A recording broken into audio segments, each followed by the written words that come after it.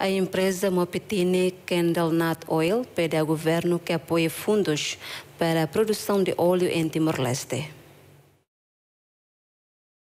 O pedido foi apresentado pelo empresário Enricos dos Santos na margem da sensibilização sobre o crédito suave. Entretanto, as ações de sensibilização foram promovidas pelo Ministério do Turismo, Comércio e Indústria. A empresa planeia produzir o óleo de cozinha através do Nogueira de Iguape, Coco e Morinha. A entidade empregadora produz óleo com a iniciativa própria. Enricos dos Santos pede por isso ao governo para apoiar fundos e equipamentos a fim de garantir a produção do óleo.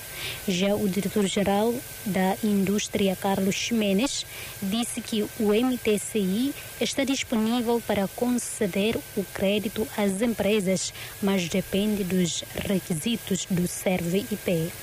Carlos Ximenes pede também aos empresários que invistam nos setores produtivos.